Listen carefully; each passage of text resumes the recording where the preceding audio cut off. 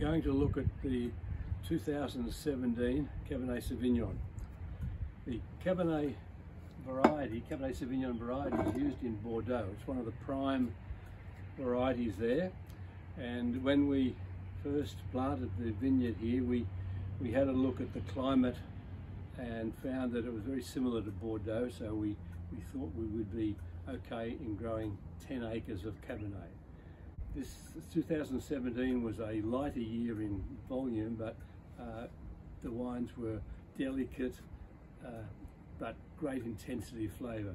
Not, not uh, so big that the, they are too uh, stringent on the mouth, but quite a lot of delicacy.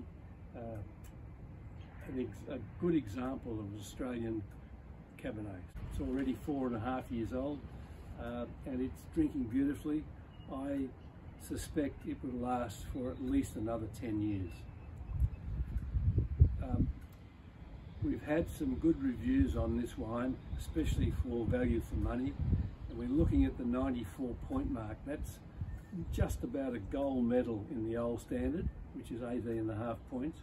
I would rate this as about 18 points, but when you look at the value for money, the, the re recommended retail at $14, this wine should earn an extra mark to get it over the uh, gold gold medal uh, level, so 18 and a half points.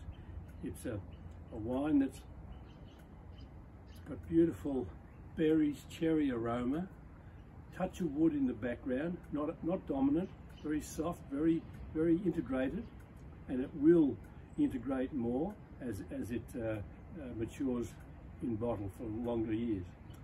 The, the palate is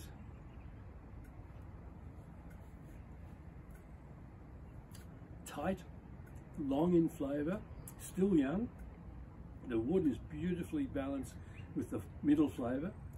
Tannins are, are soft on the back palate um, and it just lingers, the aftertaste just lingers down the back of the throat so softly. It's a, it's a wonderful wine to drink now uh, with, with lots of dishes. Meats would obviously be the, the, main one, or just to have out here on a sunny day, uh, cheese, platter of cheese, and enjoy the, the ambience and the view of the vineyard. I think you will enjoy it.